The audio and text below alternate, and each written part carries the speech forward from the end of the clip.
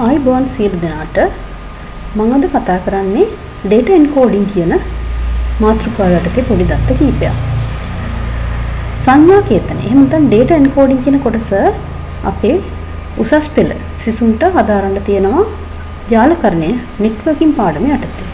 එතකොට මුලින්ම අපි බලමු මොකද්ද මේ encoding කියලා කියන්නේ. සංඥා කේතනය.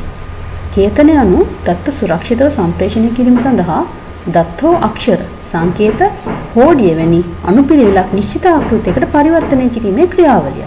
එතකොට අපි දත්තයක් සම්ප්‍රේෂණය කරනවා නම් ඒ දත්තය සුරක්ෂිතව ග්‍රාහකයා වෙත සම්ප්‍රේෂණය කරගන්න පාවිච්චි කරන ආකෘතිය තමයි මේ කේතනය කියන්නේ.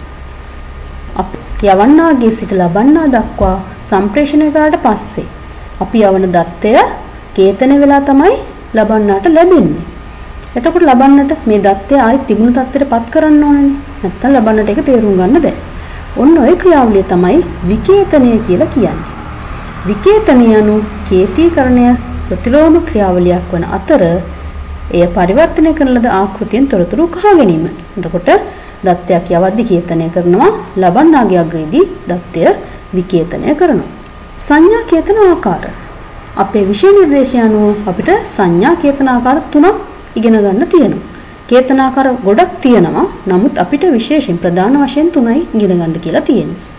මෙතනදී පළවෙනි එක නැවත ශූන්‍ය නොවන මට්ටම non return to zero level NRZ level 1 නැවත ශූන්‍ය නොවන අපවර්තිත non return to zero inverted NRZ I අනිත් ක්‍රමය Manchester encoding Manchester කේතනය. එතකොට අපි බලමු මේ ආකාර තුන කොහොමද ක්‍රියාත්මක වෙන්නේ කියලා. නැවත ශුන්‍ය නොවන මට්ටම. මෙතනදී මම ප්‍රධාන වශයෙන් මේකෙදි සලකන්න ඕන කරුණු දාලා තියෙනවා. මෙහිදී සංඥාව බිඳුව නම් හයි බවට පත් කරයි. ඒ කියන්නේ ඉහළට එක තියෙන විදිහට වෝල්ටේජ් එකක් තියෙන විදිහට සිග්නල් එකක් ගන්න. සංඥාව එක නම් ලෝ බවට පත් කරයි. මුල් සංඥාව කියලා සංඥාවක් දීලා තිනවා බිංදුව 1 බිංදුව බිංදුව 1 1 බිංදුව බිංදුව බිංදුව 1 1 ZL බවට පත් කළාට පස්සේ මොකද්ද අපිට ප්‍රතිදානය වෙන්නේ? ඉහළ බිංදුව තියෙන නිසා එයාව අපි සලකන්නේ බිංදුව නම් හයි. බිංදුව අවස්ථාව 1 කියලා ඉහළට ගිහිල්ලා තියෙනවා. එක තියෙන අවස්ථාව නම් ලෝ වෙනවා. ලෝ වෙනවා කියන්නේ 0 තියෙන තැනට යනවා. එතකොට එක තියෙන තැන බිඳුව සහ බිඳුව තියෙන තැන එක විදිහට තමයි මේ සිග්නල් එක NRZ L වලදී අඳින්නේ. බිඳුව නම් ඉහළට එක පහළට බිඳුව ඉහළට ආයි බිඳුව ඉහළට එක පහළට එක පහළට බිඳුව ඉහළට මේකත් ඉහළට මේකත් ඉහළට මේ දෙක පහළට. NRZ L එක හරිම ලේසි තියෙන එකේ ප්‍රතිලෝමය බව මතක තියාගන්න. ඊළඟට යන්නම් මම non return to zero inverted NRZ I මේකෙදි මතක තියාගන්න ඕනේ සංඥා බිඳුව නම් කිසිදු වෙනසක් සිදු වෙන්නේ නැහැ. සංඥාව එක නම් තිබෙන තත්වයෙන් වෙනස් තත්වයකටපත් වෙන. එතකොට අපි මුල් සංඥාව සලකමු. මුල් සංඥාව බිඳුව තියෙන්නේ. මම මේකට උදාහරණ විදිහට පාවිච්චි කරලා තියෙන එකම සිග්නල් එක.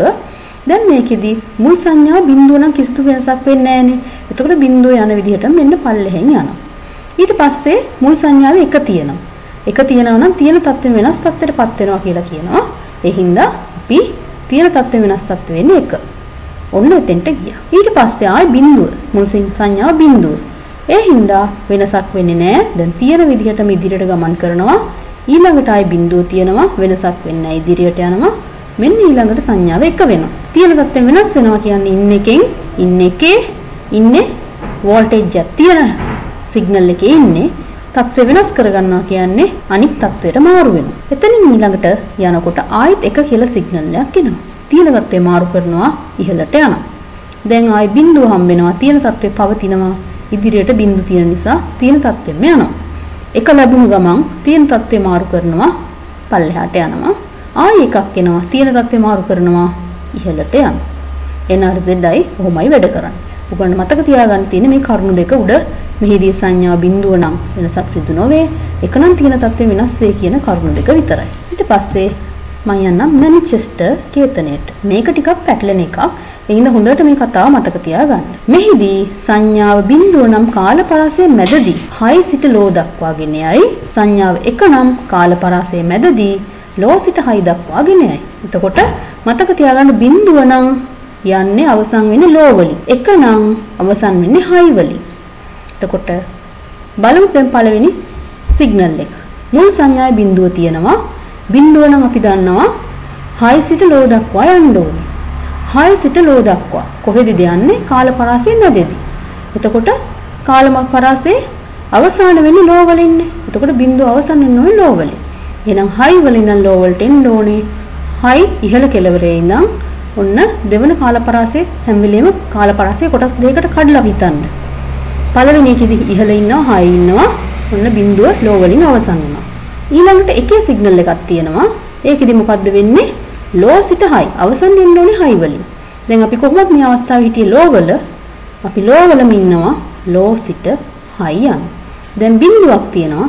බිඳුවක් තියෙනවා අවසන් වෙන්න ඕනේ ලෝ වලින්. මෙතනින්ම හයි වලට කෙලින්ම යන්න පුළුවන්. high to low. මෙතන දැන් low වල ඉන්න ආයි බිඳුවක් තියෙන. දැන් මේකයි high to low හදාගන්න එපා. ඒ නිසා අපි ඉහළට අරන් ගිහිල්ලා high කරගන්නවා. high වුණා. දැන් low වුණා. ඊට පස්සේ ආයි එකක් තියෙනවා. එකක් නම් low to high. low ඉහළට ගියා high. ආයෙත් එකක් තියෙනවා. එහෙනම් low කරලා ඉන්න ඕනේ. low වුණා high.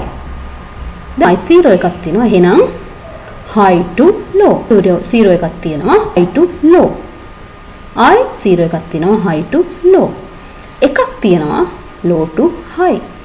තවත් එකක් තියෙනවා එහෙනම් ආයි low වලට ගිහිල්ලා තමයි high වෙන්න ඕනේ low to high. මම කියලා දුණු ක්‍රම තුන පැහැදිලි කියලා මම හිතනවා. එහෙනම් මොකක් හරි ගැටලුවක් තියෙනවා නම් කමෙන්ට් එකක් දාන්න පැහැදිලි කරන්න.